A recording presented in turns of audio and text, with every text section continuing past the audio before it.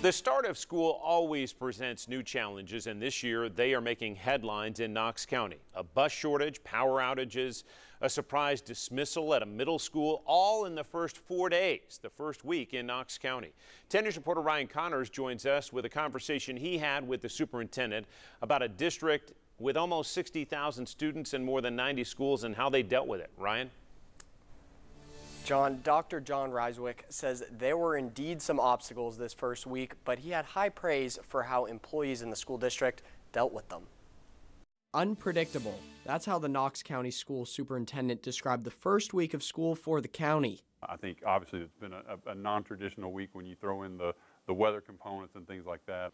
On Tuesday, Sequoyah Elementary students showed up to school to find power cut off to part of the school all due to the first ever August tornado in Knox County history.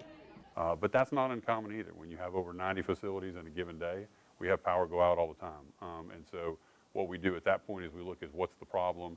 We get a, uh, with our partners at that point and try to get a, what's the projected timeline, what's the problem. On Thursday, students at Bearden Middle School went home early after an odor from sealant used in the auditorium renovations created a distracting stink. Middle schoolers are expected to return back Monday. The smell, according to the district, is not toxic.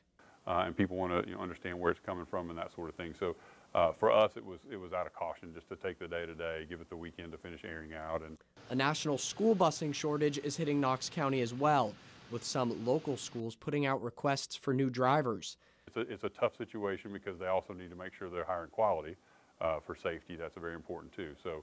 After a week full of troubleshooting, Knox County Schools says they believe the rest of the year will be much smoother.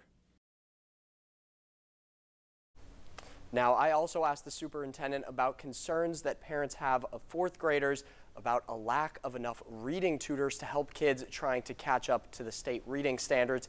He says enough tutors are available. They're just working through some issues as the first year of the program is underway. Back to you, John. All right, Ryan Connor is on the update. Thank you.